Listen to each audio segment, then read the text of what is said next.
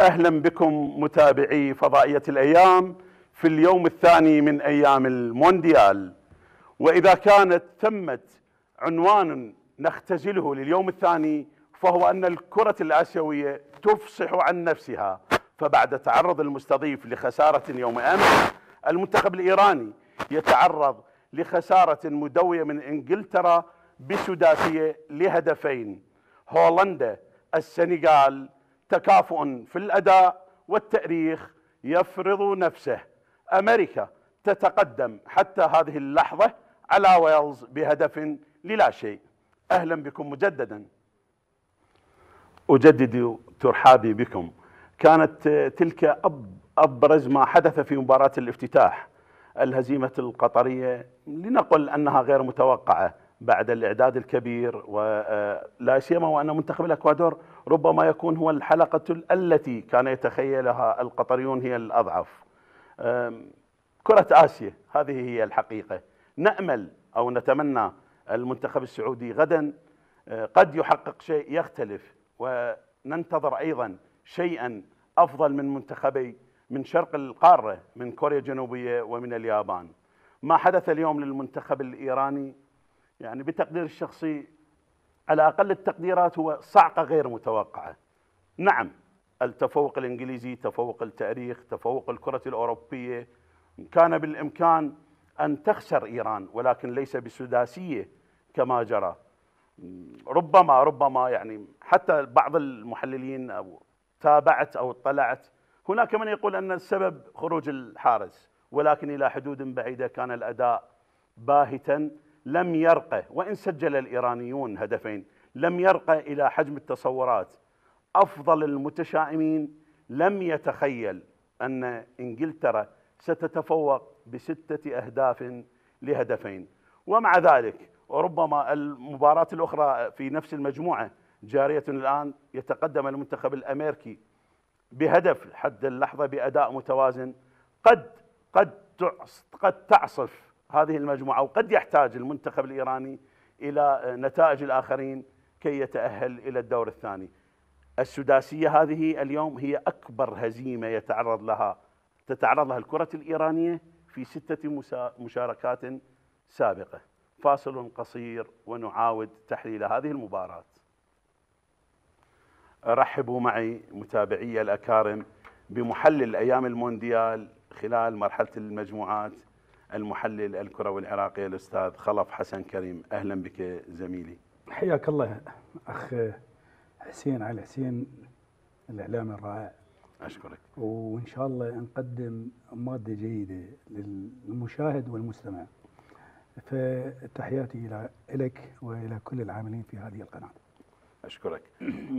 خلينا أنا تابعت مع المشاهدين ما جرى في مباراة الافتتاح. نطوي هذه الصفحة.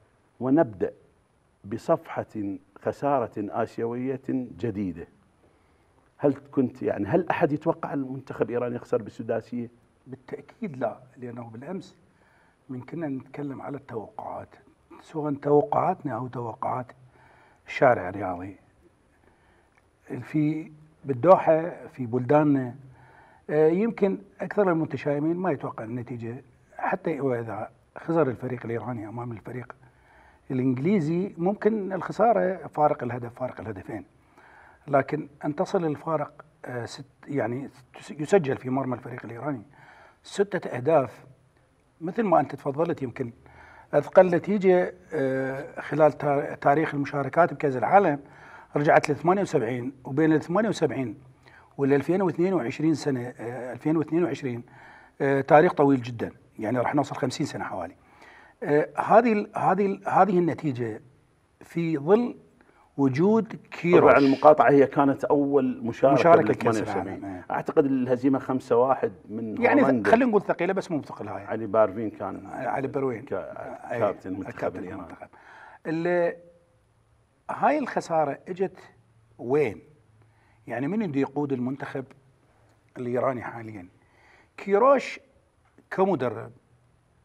ستايله هو غلق المناطق والمنافذ والخروج بأقل الأضرار. يعني هو يعني هاي غالق هو اليوم هو اليوم هو لا لا هو ما غالق شلون يعني هو بدا حقيقة بدأ بيش بدأ بلاعبين آه، أول شيء آه، أجسام بدنية قوية. يعني اللاعبين القصارى اليوم مثلا ترابي ما لعب. لعب اللاعبين الأطوال الكبار بحيث هو راد يطلع من الشوط الأول على الأقل متعادل. هو وصل للدقيقه لو 34 تسمح لي لو تسمح لي يعني لعب اللاعبين الاطوال يعني كيروش يتخيل أن إنجلترا في ال 66 ال- ال high shots تلعب بال 2022 أيضا على الكرات العالية؟ لا هو لا لا أعتقد هو هو الرجل أنت شفت الأهداف؟ أنا شفتها. يعني وأنا يمكن هسه راح يمكن بس هدف واحد عالي. هو اليوم إحنا بنرجع على الأهداف وأنا أنا معاك مع الأخوة بالكنترول. آه، آه، يمكن تكلمنا هاي التشكيلة هاي هاي تشكيلة أنت هاي تشكيلة الفريق تأخرت علي. لأن عندك هواي details يمكن إي. تأخرت بالطرق فخابرتك هواية عندك تفاصيل يعني تفاصيل كثيرة إي، اجمع فسولف في عجالة يعني. فهذه هذه هاي تشكيلة الفريقين يعني الفريق الإنجليزي والفريق ال- آه، الفريق الإيراني. الفريق الإيراني ربما تأثر بإصابة آه، يامند حارس المرمى اللي اشترك مع اللاعب ال- المتأخر قلب الدفاع وبالنتيجة تأخرت المباراة كثيرا. آه، الفريق الإيراني صامد للدقيقة حوالي 35 36 لا توحي يعني خلف لا توحي إنه وكأنه لا خروج لا. الحارس. لا لا مو هذا الموضوع. بال- بالمناسبة يعني أنا يعني ترى مو أي فريق يسجل اثنين على إنجلترا. اي لا يعني- خل... خلينا نتكلم على الستة اللي دخلت. ما يعني يخالف. يعني أنت لا أنت سألتني سؤال رائع جدا. إنه هو نفس الفريق الإنجليزي لعب 66 وطريقة اداء مو أنت لو اليوم. لو اليوم الكرة تغيرت كيروش كان يعرف إنه الفريق الإنجليزي هو قال قال الفريق الإنجليزي في نسخته الحالية قد يكون هو الأفضل منذ عام 1966 بالنتيجة اليوم الكرة الإنجليزية من تلعب كرة قدم تغيرت مفاهيم اللعب الطويل اللي يعتمد على القوة البدنية والمناولات الطويلة. ليش؟ لأنه اللي دخلوا للدوري الإنجليزي مجموعة مدربين منين؟ من إسبانيا من البرتغال من ألمانيا والفرق الخمسة الأوائل الآن بالدوري حتى الإيطالي كونتي. الخمسة الأوائل اللي موجودين في قائمة الدوري الإنجليزي مدربين كلهم أجنبي أجانب. أضف إلى مورينيو المدرب الشهير. غيروا من نمط اللعب بدوا وين يدورون على اللاعب المهاري. الآن اختلطت المهارة بالقوة البدنية. وأنا راح يعني, أروح يعني تريد تقول إسقاطات الدوري أو أساليب ال- المدارس المختلفة أنتجت هذا المنتج أنتجت هذا المنتخب. وإحنا اليوم لازم لازم مو فقط نتكلم يعني. إحنا إحنا مو فقط نتكلم على سوء الفريق الإيراني بس. خلينا نتكلم على إمكانية الفريق الإنجليزي اليوم اللي قدم مستوى جدا راقي. يعني اليوم أنا مع الأخوة بالكنترول آه، إذا جينا بوبنا الأهداف اللي دخلت في مرمى الفريق ال- نعم. الفريق ال- الإيراني. يمكن ال- الهدف الأول والثاني راح تشوف الأهداف دخلت واحد بالراس الهدف الأول والثاني assist عن طريق ماجواير. أيضا وين؟ آه لعب الكرة نزل الكرة لأنه طويل القامة نزلها إلى ال- آه رحيم ستيرلينج ولبست الكرة برجله من أحلى ما يمكن واجى من عندها الهدف الأول. يعني إذا شاهدنا هسه الهدفين الأول والثاني راح يش- يشاهدون الجمهور آه، إحنا مبوبينها حتى نسهل مهمة المشاهدة إلمن نعم. للأخوة المشاهدين حتى حتى نشوف هذا هذا اله- هذا هذا الهدف الأول. كرة راسيه بدون مراقبة. يعني هنا لو نوقف الصورة أنا كنت. أتمنى إنه لا الصورة شوف الحارس. إي إي. يعني- لا شوف العدد الهائل للقميص الأحمر. وشوف الح... هذا الهدف الثاني. لا شوف ال- هذا الهدف الثاني. راح ينعاد راح ينعاد راح ينعاد. راح ينعاد الاثنين. آه، إحنا بالحالتين هذا الهدف هذا الهدف الأول.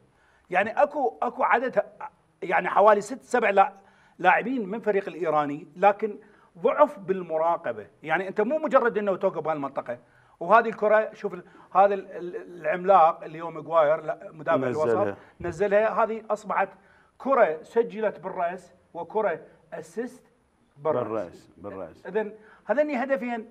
إجن في وقت يمكن هو مر مر حوالي 35 36 س- دقيقه هي النتيجة آه، صفر صفر بعد إصابة الحارس. طبعا لا والثاني والثالث سريعا واحد سريعاً ورا. الثاني إذا إجينا على وين ارتكبوا أخطاء الفريق الإيراني؟ وين كان الضعف بتسجيل الأهداف أو بكثرة تسجيل الأهداف؟ يمكن عندنا آه، تبويب آخر للهدفين الثالث والرابع، والثالث والرابع هدفين نسخة طبق الأصل. آه، البديل وكاسة اللي سجل طبعا كاسة سجل هدفين هدف من الأهداف ما راح نعرضه. راح نعرض هذه الأهداف. خلينا نشوف هذا الهدف ال- الرابع والخامس. مو- الرا- ستير- الرا- ستيرلينج وين راح يروح؟ شوف ستيرلينج بنى الهجمة. خلينا نشوف. ممتاز جدا. وقف هنا هنا شوف حسيني. شيء سوى حسيني. يعني مجرد إنه دا يباوع على الكرة. يعني ما دافع بط- بطريقة صحيحة. يعني اللاعب اللاعب يدحرج بالكرة. ودي وحسيني يقول له يقول له تعال انت روح سجل عليه. يعني كان اكو لازم يصير حاله تحدي هذا الهدف الثاني. هاري كين بنفس الطريقة. هاري كين وين راح؟ إلى ال- اللاعب البديل. أيضا بنفس الحالة. شوف حسيني شو اللي سوى. يعني حسيني بنفس الطريقة ما عرف يدافع عن لاعب حامل الكرة. هذا بديل؟ نشوف. ها؟ هذا بديل واساسي والله كما ما أعرف حسيني. هل هو مركزة ولا لا؟ أنت تحدثت أنا عن حيرني. بدلاء. اي تحدثت عن بدلاء يعني هاي الحالة بطاقة واحد ضد واحد. روح تحدي للكرة. لا تنتظر. فسح المجال له كله وقال له روح جول يعني هذا- غريب هذا اللاعب. أنا غريب يعني في كرة القدم ما ماكو ماكو مدافع يلعب كرة قدم. خصوصا بالهدف الثاني خلينا نشوف الهدف الثاني. لا لا لا غرابة أكو غرابة في أداء هذا اللاعب. شوف هذا هاري كين. هاري كين أخذ الكرة بنفس الطريقة. أوكي الآن ما راح عليه لما الكره رفعت الإيد ما معقولة مدافع مدافع هذا إحنا مرات نقول نقول هذا كأنه مركزه مو مدافع. يعني أنت شو وقت تتحداه؟ ستايل. خلي الكرة تضربه برجلك. أنت مطيك كل هاي المجال كل هاي المساحة تقول له تعال قوة. سجلوا جولين بس خلي شوية خلي خلي خلي ال- ال- الأخوة يعني يرتاحون لأنه أقلها يمكن أنت في مقدمتك اللي يخفف من هذا العبء. إنه آه، هذا المبدع طارمي لاعب بورتو. أنا يعني هيك مر علي إنه والدته أي. والدة هذا اللاعب. أي. إنه دعت له أن دعت له وانعرض يعني من دون اللاعبين الآخرين. إيه. دعت له إنه يسجل وأن هذا الهدف هو هديه لل- للشعب الإيراني وما إلى ذلك. وكانه وك وكأن استجيب الدعاء. وكأنه يعني الوحيد هو الوحيد اللي يعني سوق بهذه الطريقة. واستجيب الدعاء. أي. وسجل هدفين. سجل هدفين. وهذا هذا شيء قياسي لأنه أول لاعب اسيوي يسجل هدفين. أعتقد يعني نعم، في في يحسب مباراة واحدة. في مباراة واحدة. فخلينا نشوف الأهداف اللي سجلت. هذا واحد من أجمل الأهداف بدون بدون وقف كرة. طبعا الأجمل يمكن علي رضا بخشي اللي لعب الكرة. راح نشاهدها مرة ثانية. هذا الهدف الجزاء هذا الهدف الجزاء. الثاني. شوفوا عيونه. اي اي ما رفع عينه بعين الحارس. ليش؟ لأنه من يرفع رد فعل يعني لا إرادي. خلي راح الحارس يتحسس. خلينا نشوف هذه المناولة اللي هي من أروع ما يمكن.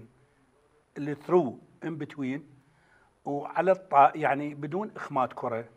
بالمناسبة نعم. يعني أنا شوف ما إيه، هاي عينه وقف- الا باللحظة وقف- الأخيرة. له وقفها له الصورة إيه، شوف ليش؟ أنا أقول لك ليش. هاي سولفتنا أنا وياك. أنا وياك خلي خليها للصورة خلوها للصورة.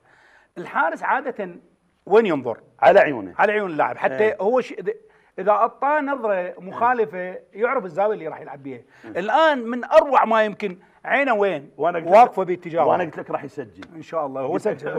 هو. سجل. الحمد نعم. لله. آه، بس خلف أكو فد- يعني تفصيلة بسيطة على برامج التحليل بشكل عام. اي يعني أنا أشوف أنماط التحليل الكروي تختلف. نعم. أو قسمتها هيك من عندياتي. اي إلى ثلاثة أنماط.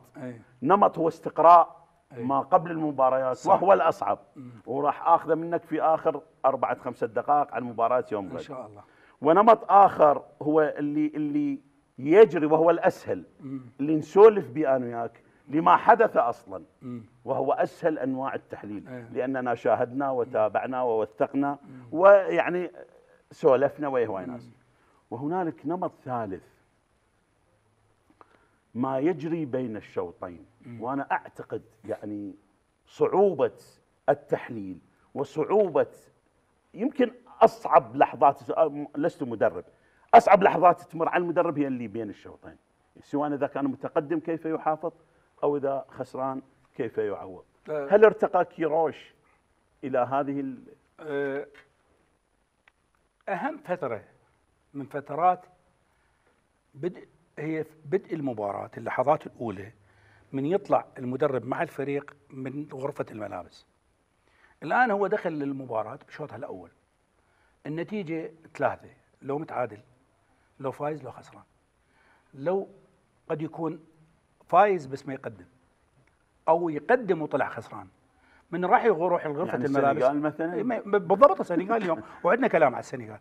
من يروح لغرفه الملابس وهو خسران 3-0 كما حدث في مباراة إيران. هذا اللي يرد بي. إيش راح هنا؟ إيش راح يكلم الفريق؟ راح يمر على الأخطاء لو هي شرود ذهني عند لاعبي المنتخب الإيراني. أنا أنا بتصوري أكو. أكو شرود ذهني بالشوط الأول. يعني ادخل للمباراة وخلي في بالك شيء واحد إنه أنا لابس الفانيلة والعلم الإيراني حاطه على قريب على قلبي. هذا الأهم. كل الأمور الأخرى تركها جانبا. لا تفكر بشيء آخر. سواء كان اقتصادي مادي سياسي عائلي هذه اتركه اليوم أنت أمام مهمة وطنية. أنا باعتقادي أنه ما كان التركيز موجود لدى اللاعبين الإيرانيين. يعني أنا ما أريد يعني أنتقل ولكن أكو اصطلاح يعني أنا أفخر أنه أني اجترحته يعني من عندياتي. هو القرار السيارياضي أو المشهد السيارياضي هو هو يعني عملية يعني إقحام أو حكم السياسة على الرياضة. أنا شفت كيروش دبلوماسيا في الرد على أحد الصحفيين. الإنجليز. الإنجليز. صح. يعني عشية المباراة أو قبل أيام. شفت كيروش في ذهنية متفتحة وشفت المنتخب الإيراني في بعض لاعبيه يمكن في مباراة سابقة أيضا ما تفاعل ويا النشيد الوطني لبلده. يعني أعتقد أنه المنتخب الإيراني بحاجة إلى إعادة بناء نفسي أكثر من الفن. هو أنا إيش قلت لك؟ قلت لك أنت لمحت أنا لم لمحت تتحدث بشكل أنا. لمحت لك إلى مسألة مهمة نعم أنت اليوم تطلب من عندي أنا أركز بالمباراة أنت مدرب نعم وأريد تريد تطلب من عندي اجهز يعني كيروش كان في رده على على الصحفي الإنجليزي أكثر من الإيرانيين نفسهم. نعم. آسف أقول هذا الكلام نعم. بس هاي الحقيقة لأنه من ساله الإنجليزي ما هم ما انسال اللاعب انسال هو كيروش. يعني من س... من دي يساله يقول له أنت شلون تدرب فريق و... وال... في بلد يعني يقمع بلد ما فيه حريات للنساء. خليه يجي يشوف الشارع الإيراني هو خلي هذا البريطاني خليه يجي يشوف الشارع ال- الإيراني شنو اللي بيه على كل حال هذا مو الموضوع بس رد رد كيروش. قال له وأين أين أنت مما تفعله الحكومة مع الإنجليزية مع المهاجرين مع المهاجرين مع المهاجرين الاجانب. اذا اذا أنا مو مشكلة عندي اليوم أني أدخل للمباراة لا أنت متحدثت إنه الفريق الإيراني أو المنتخب الإيراني يعني عنده شرود ذهني ما أنا بين باعتقادي ما بين الشوطين أنا باعتقادي. نعم أنا أنا أعتقد باعتقادي. ال- ال- اللي حدث يعني شنو اللي سحبنا إلى هذا؟ تدري شنو اللي سحبنا خلاص؟ نعم. الستة. إيه. يمكن المنتخب الإيراني لو خسران 2-0 لو خسران 2-1 لو خسران 3-2 إن- 3-1 النتيجة نورمال مقبوله يعني- يعني أنت- لكن السته الستة هي اللي خلتنا نفتح هاي الملفات. ما يخالف. ما ما كنا لنتحدث بها. مو هي أنت من تخسر ستة أكو مسببات. يعني تروح تبحث عن الأسباب. مضبوط ولا لا؟ نعم. من انت خسران واحد اثنين ما تدور على الاسباب تقول نتيجة طبيعية خلاص. نعم. اذا واحد من الأسباب أنا أقول الشرود الذهني. نعم. يعني ما كانت تكون مشكلة نعم. إنه أنا أرد أردد النشيد الوطني ولا ما أردده؟ يا أخي هذا النشيد وطنك. تروح ردده وخلاص أبوك. أي عموما هسه هذه على كل حال التفصيلات. نتمنى يعني أن أن أن يعني يتجاوز المنتخب الإيراني يعني صعقة ال- السته اهداف هذه هزة. والمنت... درس. إيه وم- أمريكا وويلز. أنا شفت ال- يعني لمامه آه، خلينا نعوف الفصحى. شفت هيك بعض شو اسمه ال- اللقطات من الشوط الأول. أعتقد المنتخب الأمريكي والمنتخب ال- مستويات متقاربة وهي قريبا وهي ليست أفضل من المنتخب الإيراني. بدليل يعني مو بدليل بتوقع بقراءة. ما أعتقد أن ويلز ستسجل مثلا هدفين على إنجلترا. لا أنا خلال الشوط الأول شاهدت بين إنجلترا أمريكا. وامريكا وويلز. الفريق الأمريكي أقوى بكثير من الفريق ال- الويلزي. ربما الفريق الويلزي آه، سوف لن يذهب بعيدا في هذه البطولة وربما خروج مبكر لأنه الفريق الأمريكي قدم مستوى خلال هذا الشوط. هذا جانب. اذا يعني البطاقة الثانية أمريكا إحنا إحنا كل إيران يعني يعني هذه المواجهات يعني هذه- من أيام ال- ال- التأهل من أيام المونديال ال- القديم على على المشهد العام المشهد السياسي. يعني البطاقة الثانية ستنحسر بين إيران وأمريكا؟ هسه إحنا راح نقول البطاقة الأولى وين راحت؟ يعني يعني قرت نفسها يمكن قرر. إحنا نقول دائما الفريق الفريق اللي يكسب أول ثلاث نقاط. نعم. آه، يقطع يعني حد حد اللحظة يعني. المعد المساعد. مساعد المعد. زودني بالنتيجة لا تزال بهدف آه، للا شيء. آه، يعني خلينا نقول الفريق ربما شنو اللي راح يصير؟ خل نقرأها أنا وياك هاي القراءة اللي بعد المباراة. أو بعد ال- المباريات أو ما تنتهي. أكو صراع هو راح يكون أمريكي إيراني. صراع كروي. كروي. نعم. كروي سياسي.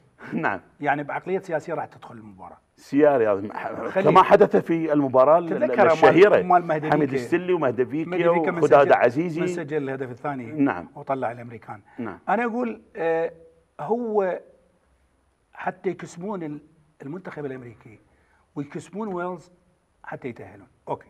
لنفرض كسبوا أمريكا وتعادلوا ويا ويلز صارت عندهم أربع نقاط. إنجلترا محتاج لها فوز واحد. آخر. تصير عندها ست نقاط. تبقى المباراة الأخيرة. التي تجري في- في, التوقيت في وقت نفسه. واحد. لكنها لا يعني تت- تتحكم بها. طالما أنت داخل وتعرف إيش قد عندك. يعني هذا- مشكلة هاي. هذه مشكلة. يعني مشكلة إنه المنتخب الإيراني يعني صار في مجموعة انجلو امريكية انجلو امريكي إيه، صحيح. يعني منتخبان من ولد العام من ولد العام ولد إيه، العام مشكلة إيه، مشكلة. يعني إذا احتاج المنتخب الإيراني مثلا إيه. إلى جهد الآخرين فهو لن يجد سوى أقدام لاعبين 100% لأنه تدري ليش؟ نعم. لو لنفرض إنجلترا راحت راحت وعندها ست نقاط بعد ما تحتاج الشيء الأخير. يعني المباراة الأخيرة إيش تلعب إيش تتوقع راح يلعبون بالفريق الاحتياطي؟ مثلا نعم إيه نعم أو- تحصل حاصل إذا احتاجت ال- إذا احتاجت أمريكا النقاط راح تروح لأمريكا تعطيها النقاط. وإذا راحت ويلز رادت النقاط على حساب إيران. ولكن هي أيضا مسؤولية الكرة الإيرانية طبعاً. التي خسرت بالسداسي يعني كان المفروض اليوم المنتخب الإيراني أو كيروش بالتشكيلة اللي سولفت بها أنت قبل المباراة وجبتها قبل المباراة قلت حسين هذا يدور تعادل. 100% هو كان يدور أن لا كيروش المنتاليتي مالته عقليته.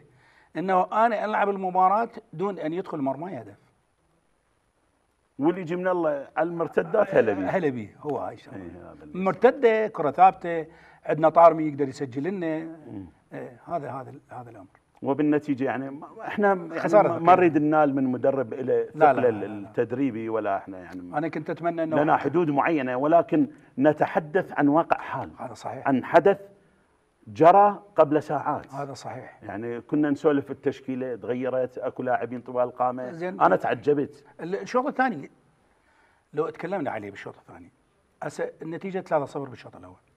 النتيجة صارت 6-2 بالشوط الثاني. يعني الشوط الثاني 3-2 أنت خسران 3 2 يعني أنت أكو كرة الازمه يعني ارتقيت بعقلك. يعني أنت كنت تحتاج إلى مباراة تجريبية. إيه، حتى تخسر بها ثلاثة حتى تجي تخسر 3 2 يعني أنت أكو فرصة ازمون سردار. اللي طلعها الحارس. بالعارضة، الحارس طلع بيده بيده وبالعارضة. بالحارس. هذه كان ممكن تقلص نتيجة المباراة. ترجع للمباراة أوكي. بدل ما أنا أخسر الفارق أربعة خلي أخسر فارق اثنين.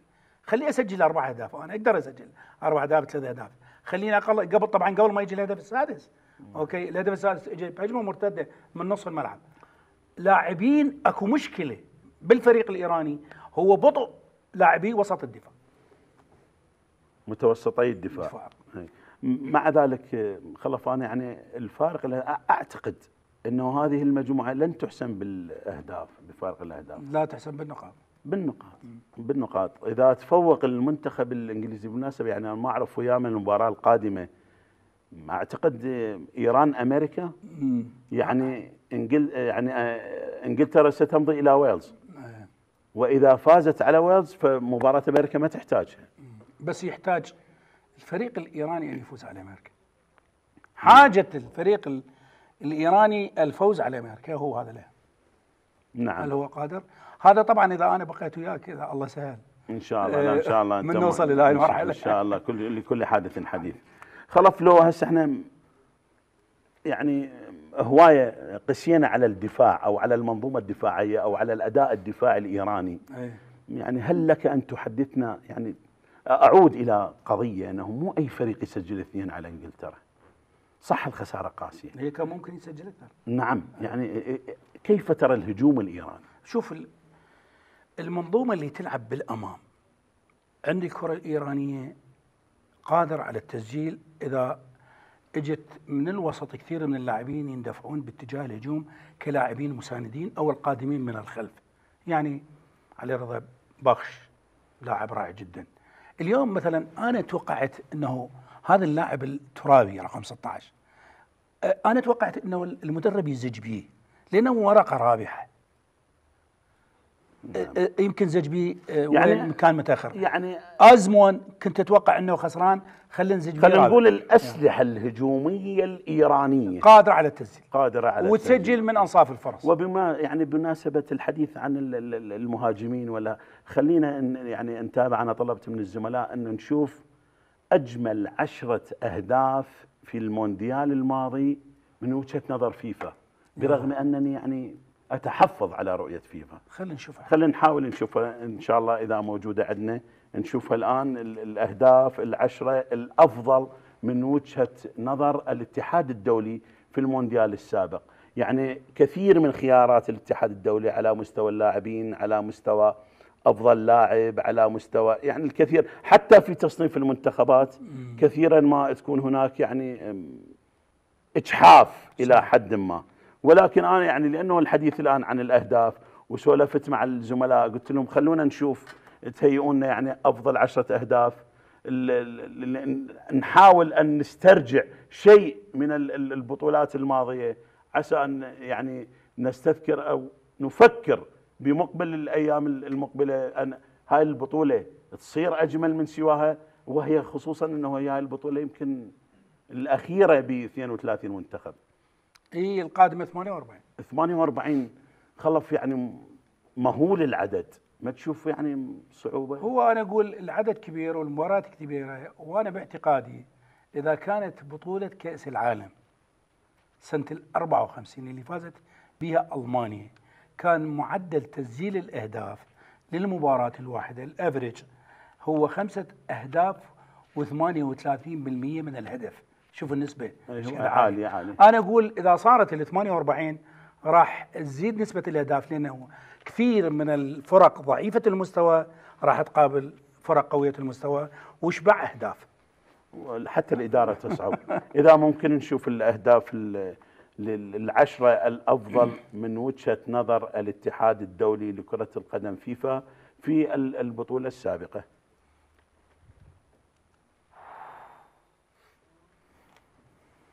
أهلا بكم أحبتي مجددا. للتذكير فقط بأن المنتخب الأمريكي لا يزال يتقدم على نظيره الويلزي في الشوط الثاني بهدف للا شيء. خلف تابعت شفتك مندك في المتابعة. في هدف بقى ببالك من مونديال 98 هو الأجمل واحد أخير واحد ظهير اليمين في مرمى الأرجنتين. طبعا الأهداف لو ردنا نبوبها اخ علي أنا وياك. أحيانا أكو أهداف تسجل بمجهود فردي. يعني على شكلة ميسي من نص الملعب مارادونا من نص الملعب وياخذ الدنيا كلها تركض أو قدامه مارادونا بيدة. ومارادونا بيدة. يعني بالمناسبة الحديث عن مارادونا بيدة كان هناك فد شد سياسي؟ هاي لمن يقول أن السياسة بعيد عن. الرياضيين احتلت بريطانيا جزر فوكلاند سنة ال 82 بال 86 اجى مارادونا قال سأنتقم لشهداء الأرجنتين في فوكلاند اليوم في هذه المباراة. وسجل هدفين ليس لهما مثيل واحد بيده. واحد هسه البيدا أخذ. واحد واحد أخذ الفريق ال ال ال الإنجليزي كله. أكمل. يمكن س- س- راوغ بأكمله. إيه، ستة لاعبين. نعم أعود إليك. هناك نمطين من ال... فأكو اهداف يقول لك هذا آه، المهاجم ياخذ على عاتقه فعل كل شيء. وزيدان كان بهذه الطريقة رونالدو البرازيلي بهذه الطريقة روماريو بهذه الطريقة. آه، واحيانا أكو اهداف تسجل من كرات ثابتة. كثير من الأهداف. يعني شفنا هدف رودريغيز خميس رودريغيز خميس خميس.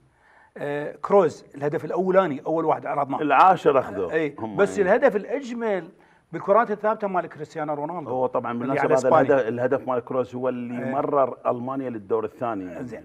واحيانا يجيك هدف اللي أنا وياك كفنيين نتمتع به. من نشوف هدف. هدف تكتيكي. نعم. يعني كل الفريق أربع خمس لاعبين يلعبون وان تاتش مسه مستين مسه مستين وان تو ودخلوا للمرمى. تقول الله إيش قد متعوب على هذا الهدف. أي. يعني شغل جماعي تقول. فمرات إحنا نبوب هاي الأهداف. نقول عمل فردي كرة ثابتة هدف تكتيكي هدف. آه، خلينا نطوي نطوي. مباراة إيران وننتقل إلى المباراة الثانية. أنا أخذت لها عنوان طرحته بالمقدمة أي. تكافؤ في الأداء وانتصار للموروث يعني يعني أنا شفت اليوم التاريخ. ح- نعم يعني أنا شفت المنتخب السنغالي اليوم ربما تفوق في بعض اللحظات ولكن بالنتيجة السنغال هي السنغال وهولندا هي هولندا يعني اليوم إذا تكلمنا على الفريق السنغالي والفريق الهولندي أول شيء المباراة متكافئة أنا في لحظة من اللحظات قلت اللي يسجل هو اللي يفوز. فرص ضائعة موجودة لدى الفريقين. أه، وكثير من كرات خطرة إجت. لكن شو وقت يحدث الخطأ حتى أنا أسجل وأفوز عليك؟ أه، لو أجينا على الفريق ال- خلينا عندنا وقفة مع الفريق السنغالي. اليوم أه، مريت أنا على 25 لاعب اللي موجودين في كأس العالم مسجلين. حاليا. ولا لاعب من عندهم يلعب بالدوري السنغالي.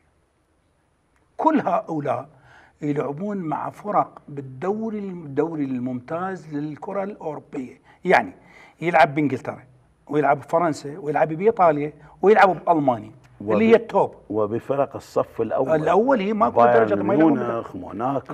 ميلان حتى ميلان. استعرضنا القائمة. اذا ذول شوف اليوم هسه لو مرينا إحنا بعد عندنا وقت هواية من نشوف مثلا فرق آسيا وفرق أفريقيا من تلعب أمام فرق لها باع طويل بتاريخ كرة القدم مثل هولندا.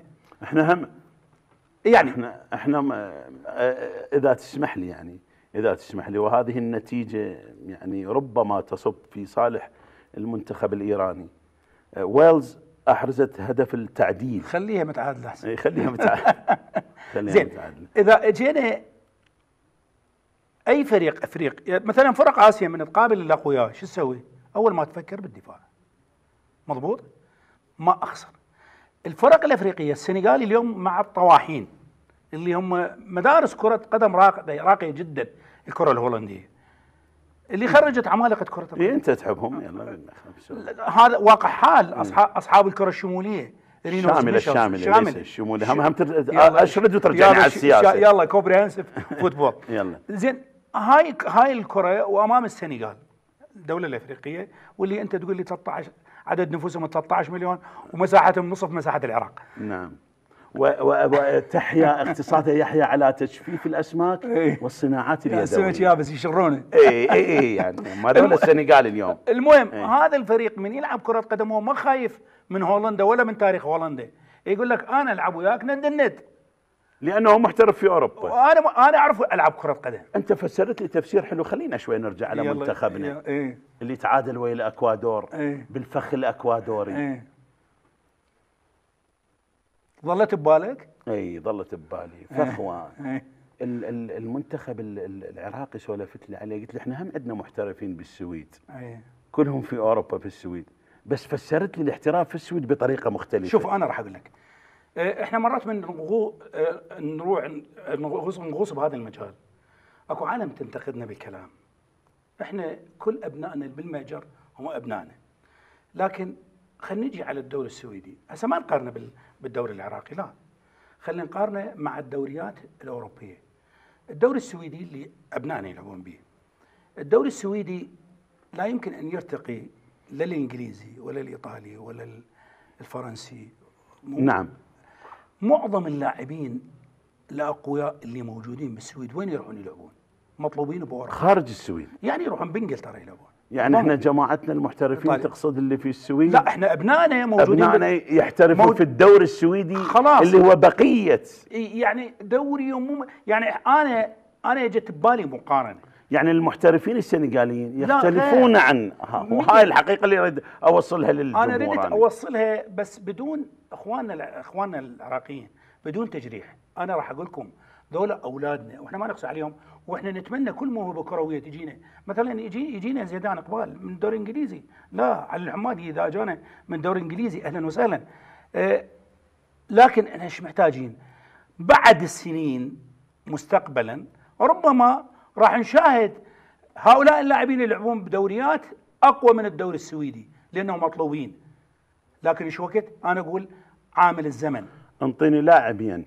لاعبين إيه. بمستوى المحترفين اللي شفتهم بمنتخب السنغال. يمثلون يعني لاعبين عراقيين. سيصنعون فارقا في الزون الذي ننافس فيه في المنطقة التي ننافس فيها. تريد الصراحه أي. لا توجد ماكو ما عندنا. خلف السنغال هولندا صفر اثنين. الأكوادور قطر اثنين صفر. كيف ترى وضع المنتخب القطري خاسر من الأكوادور والسنغال خاسرة من هولندا؟ السنغال تبقى آمالة قائمة وأعتقد الفريق القطري آمالة صعبة جدا. آمالة صعبة. ما تسولف لنا على أهداف آه، خلينا نشوف الهدف هولندا طبعا هاي الأهداف. هذا إدوارد ميندي اللي هو حارس تشيلسي. أنا أعتقد يكون تسبب هذا الثاني. بالهدفين. هذا الثاني. إي ها- هاي الإبعاد. خلينا نشوف الهدف الإبعاد ما يكون إلى داخل الملعب وإنما الكرة يجب أن تكون للجانب. يعني تبعد عن اللاعب. هذا الأول. هذا هذا الأول. هذا الأول بالبطين اخذه شوف الخروج الخاطئ. يعني فرق خطوة بين مندي وبين جاكبو.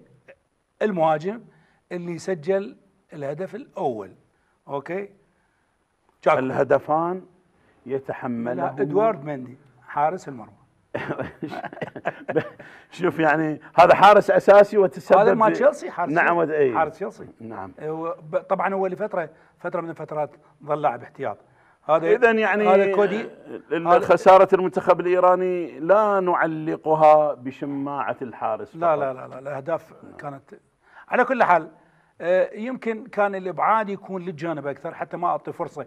طبعا هذا اللاعب اللي سجل داني كلاسين هذا آه، هو بديل آه، دخل بالدقيقة 79 اجمالا أي. بعيدا عن الهدفين والحارس التشلساوي لو صح الاصطلاح. بعيدا عن هذا. إجمال المباراة. يعني قضية الحيازة قضية ال الشوت التسديد على المرمى قضية الاتمت المحاولات. أنا شفت المنتخب السنغالي متفوق أنا أقول هسه لو شيل الجولين وتشوف المباراة آه، أي واحد تجي يقول لك السنغال فايزة. هسه إذا إذا على الأقل ما راح تفوز السنغال على هولندا. آه، النتيجة الأقرب إنه يطلعون اثنين متعادلين. يعني خطأين كلفهم نتيجة المباراة. اجتهم فرص حقيقية للتسجيل اضاعوها صعب أنه أو أو مؤلم ان المنتخب السنغالي يغادر البطولة؟ والله أنا أتمنى يعيدون نفس الإنجاز في زمن المرحوم. مدربهم ميتس الفرنسي إيه آه، الفرنسي اللي مات بسرطان. في دولة الإمارات العربية المتحدة. الشعر ابو الشعر الطويل. إيه. إيه. آه، يمكن حقق إنجاز وياهم بعد أن أبعد من مجموعتهم الديك الفرنسي. ويومها يمكن السنغال راحت الدور ربع النهائي دور الثمانية إيه خسروا وطلعت فيه صعوبة إيه. اذا الم... أنا. يعني أتوقع يعني إحنا قلوبنا مع ال... مع. الأشقاء ولكن لا مع الأشقاء القطريين ولكن يعني حرامات إنه المنتخب السنغالي أيضا بهذا ال- الأداء الرخيم الأداء الكروي أمام طبعا هولندا كما أحببت يعني وتشوفه خارج ال- ال- المونديال من الدور الأول. يعني الناس تتحدث يعني بألم عن عدم وجود مثلا مثلا إيطاليا. وأعتقد إنه هذا المنتخب إذا يطلع يعني هاي التشكيله تشكيلة الفريقين إيه، اللي لعبوا نعم. بها. لب أبو أبو أبو علي أكو شغلة مهمة. نعم.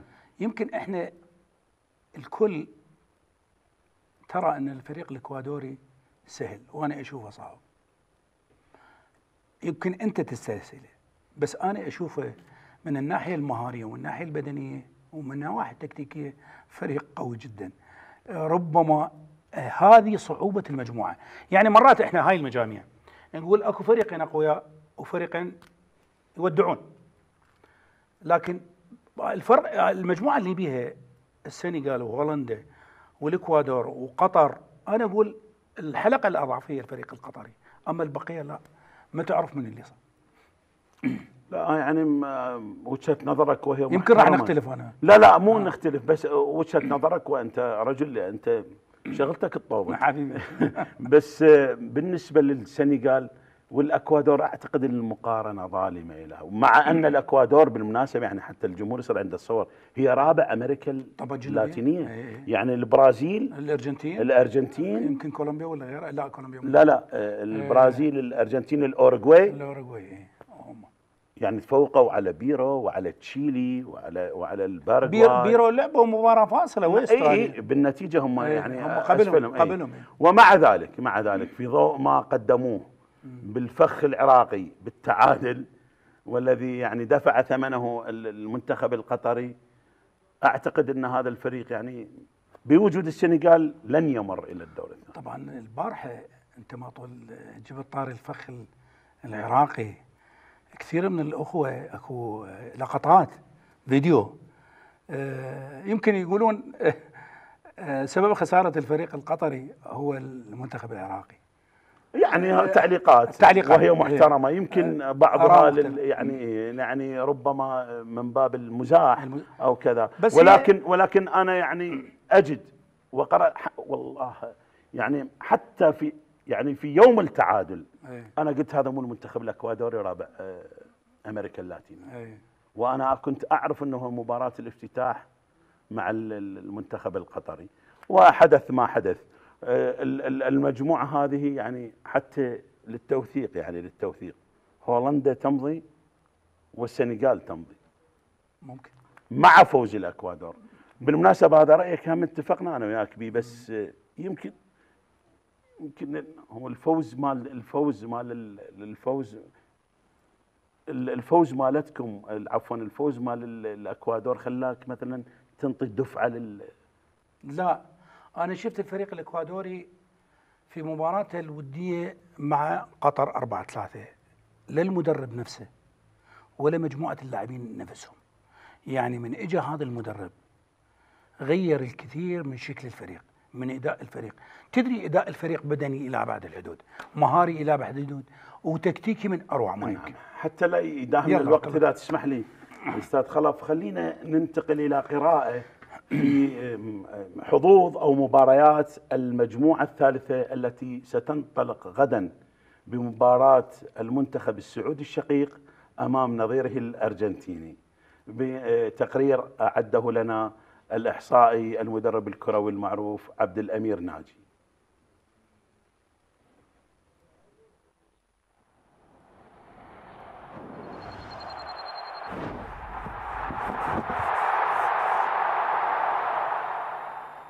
السلام عليكم.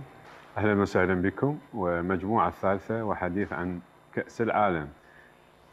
المجموعه الثالثة هي اللي تضم الأرجنتين السعودية آه، المكسيك وبولندا.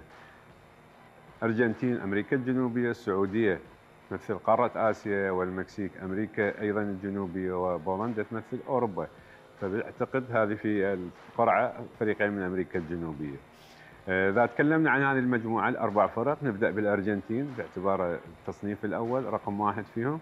آه، الأرجنتين اسم كبير وتاريخ يعني عريق أيضا. آه، يكفي أنه تذكر مارادونا وميسي كافي أنه تتكلم عن الأرجنتين. لكن يبقى الأرجنتين أنه فريق له تاريخ لعب المونديال. لعبت في المونديال عام 78 أحرزت الألقاب يعني لقب المونديال 78 86 هاي المشاركتين لكن من أصل 16 مره تاهلت فيها هي للنهائيات في التصفيات آه، في كوبا أمريكا أيضا 14 مرة آه، شاركت فيها. مشاركات الأرجنتين كثيرة في كل بطولة ودى جمهور كبير وبالتالي فعنده 77 مباراة بالمجموع الكلي من كل مباريات كأس العالم. آه، عنده 42 فوز مقابل 20 21 خسارة و14 تعادل. يعني له 131 هدف عليه 84 هذه الأرقام إذا تأخذ له والعليه يعني دليل إنه هناك عنده نسبة كبيرة أكثر من 35 هدف زيادة وبالتالي الفوز عنده 42 مقابل 21 يعني ضعف مباريات الفوز دليل على قوة ومتانة وجودة لاعبي المنتخب الأرجنتيني. الأرجنتين اسم كبير مثل ما تكلمنا بأسماء بتاريخه بنجومه. المدرب الحالي أسكالوني وبالتالي اسكالوني هو لاعب أرجنتيني سابق آه، مدرب شاب. يكفي إنه يملك لاعبين من طراز ميسي مارتينيز اوتامندي روميرو كوريا دي ماريا أسماء كبيرة يعني وبالتالي يعني الفرق الكبيرة في أوروبا في العالم هي ما يمثلوها اغلب اللاعبين الأرجنتينيين. باريس سان جيرمان مانشستر سلتا فيغو يوفي أشبيليا أتلتيكو مدريد وبنفيكا. فالفريق الأرجنتيني هو المرشح الساخن في هذه المجموعة وأيضا أحد الفرق المرشحة لنيل اللقب. إذا انتقلنا للفريق الثاني الفريق العربي السعودي. ممثل آسيا أحد أبطال آسيا الكبار فريق أمل العرب وفريق يعني يمثل آه، نوعية جيدة من اللاعبين والتطور اللي حصل في المنطقة هو خير دليل عليه. بطل آسيا ثلاث مرات الفريق السعودي يعني من 1996 1988 1984 مشاركاته في كأس العالم بدأت الفريق السعودي يعني كنا قريبين على التطور اللي حصل في الكرة في السعودية منذ عام 1994 1998 2018 2006 2002 2018 مشاركة يعني هذه المشاركة رقم ستة للفريق السعودي في كأس العالم. عندك كأس القارات شارك أربع مرات ممثلا لآسيا امم آسيا شارك عشر مرات. آه، الفريق السعودي أسماء كبيرة وكنا بدينا نعرفهم حتى هناك مشاهدين يتابعوا الدوري السعودي. المدرب هيرفي رينال فرنسي اللي كل يتذكره يعني لاعبين أصبحوا معروفين عندنا في العراق وفي المنطقة هم اللاعبين السعوديين. وبالتالي هم أغلبهم من الدوري السعودي لاعبين يمثلون نادي النصر والأهلي والهلال والتعاون. آه، اليامي حارس المرمى اللي معروف بالإضافة إلى عبد الإله العمري وعلي مجرش وياسر الشهراني ومحمد القحطاني وسلمان الفرج وصالح الشهري وسالم الدوسري وسليمان هزازي والقائمة طويله فالفريق السعودي أعتقد فريق مهم جدا في هذه المجموعة. وفريق سيكون له آه، بصمة واضحة كما كانت له في المباريات السابقة. إذا انتقلنا للفريق الثالث في المجموعة المكسيك. المكسيك أمريكا الجنوبية فريق أيضا عريق، فريق له تاريخ ومعروف في بطولات كأس العالم وسبق ان العراق لعب في كأس العالم في المكسيك وتواجه مع المكسيك وقتها خسرنا 1-0 في 1986 المهم الفريق المكسيكي من الفرق اللي دائما هي آه، تشارك في القارات في بطولة الكونكاف في أمريكا الجنوبية عند مرة واحدة يعني أحراز لقب آه، القارات ومشاركاته في كأس العالم آه، خمس مرات للنهائيات وصل. من هذه المشاركات الخمسة بالإضافة إلى القارات وهذه عنده 53 مباراة شارك فيها في البطولات الأغلب اللي لعبهم في كأس العالم. عنده 14 فوز 14 تعادل و25 خسارة. يعني مجرد إنه 25 خسارة دليل على إنه آه، قدرة وقابلية الفريق المكسيكي يعني دائما في خط الصنف الثاني والثالث. آه، له 57 عليه 92 هدف. أيضا هذا دليل واضح على ضعف الدفاعات ودائما نسبة التسجيل عندهم أقل. فإمكانيات الفريق المكسيكي واضحة قياسا بالدول المجاورة في قارة أمريكا الجنوبية كالأرجنتين والبرازيل وشيلي والاورجواي آه، المدرب مارتينو آه، الأرجنتيني اللي سبق وأن درب برشلونة والكل يتذكر الجمهور الرياضي.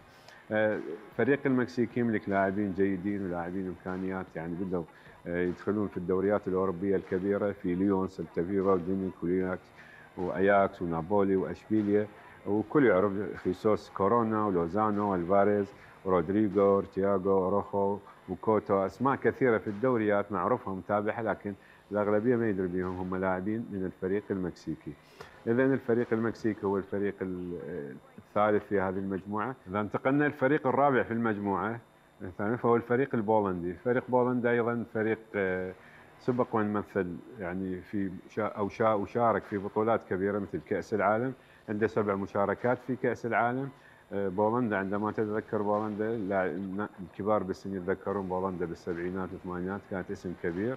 وصلت نهائي أوروبا ونهائي كأس العالم دور الأربعة في ال 74 آه، سبع مشاركات عندها في كأس العالم. آه، اهمها مشاركة في كأس عالم 74 إحراز المركز الثالث. الكل يتذكر أيام لاتو اللاعب الكبير شارماخ وهذا أسماء معروفة في على مستوى الدوري وعلى مستوى البطولات في أوروبا. آه، في كأس العالم عنده 31 مباراة. الفريق البولندي عنده 15 فوز. 11 خسارة 5 تعادل. يعني 15 فوز 11 خسارة. أيضا رقم جيد ويعطي فريق دائما حافز وإمكانية إنه فريق دائما يستطيع أن يتجاوز المراحل الأولى يصل إلى آه، أمم أوروبا شارك ثلاث مرات لكن لا يوجد عنده اي لقب في هذه البطولة. المدرب سيلاو ماشين بولندي أيضا. آه، البولنديين لاعبين أيضا مشهورين في الدوريات الأوروبية الكبيرة. ساوثهامبتون داينامو كيف سامبادوريا وشتوتغارت واستون فيلا وروما فيورنتينا ويوفنتس وبرشلونة. الرقم رقم واحد حاليا باللاعبين البولنديين هو ليفاندوفسكي اللي كل تعرفه لاعب برشلونة ولاعب بايرن السابق ولاعب المنتخب البولندي. وزيلينسكي في روما وكامينيك شتوتغارت وبيرزنكي في سامبادوريا وتوماز في دينامو كيف وبان بيدن نارك ساوثهامبتون يعني تعرف الأسماء في البولندية أسماء رنانة وأسماء كبيرة اليوم أصبحت. إذا انتقلنا للمواجهات المباشرة بين الفريقين في كل هذه المجموعة الأربع فرق فراح يكون عندنا اللقاء الأول في هذه المجموعة الدور الأول أرجنتين سعودية بولندا مكسيك.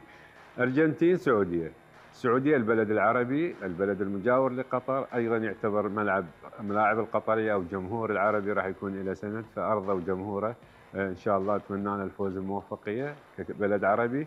مواجهة فريق الارجنتين اللي فريق كبير بنجومه وأسمائه وبالتالي وجود ميسي في هذه المباراة هو بحد ذاته مواجهة صعبة للسعوديين. اذا المباراة صعبة هناك أرجحية وأفضلية واضحة للفريق الأرجنتيني على مستوى اللاعبين على مستوى جودة اللاعبين على مستوى تاريخهم في البطولة. لكن يبقى الفريق السعودي فريق كبير في ألقابه في منافساته في تحضيراته وإن شاء الله يكون فريق منافس قوي للأرجنتين. اللقاء الثاني بولندا والمكسيك. أيضا هناك تنافس بين الفريقين لكن تبقى أيضا آه، فريق البولندي فريق عريق وفريق يملك لاعبين كبار آه، على مستوى الدوريات العالمية حاليا في جاهزيتهم التامه في هذه المواسم الأخيرة. أكثر أفضل وأفضلية فيها نسبية عن لاعبي الفريق المكسيكي. هناك أفضلية واضحة للفريق المكسيك آه، البولندي على حساب الفريق المكسيكي. لكن أيضا أكرر مرة ثانية أقول مواجهات في الدور الأول المواجهة الأولى لكل فريق تكون لأن يعني هناك حسابات معقدة راح تكون آه، عن طريق التأقلم ومواجهه الفريق في التحليل والدراية الأولية وبالتالي يعني آه، القراءات راح تكون صعب التكهن بها والتوقع. الان انتهينا من آه، مباريات المجموعة الثالثة فإن شاء الله انتظرونا في المجموعة الرابعة.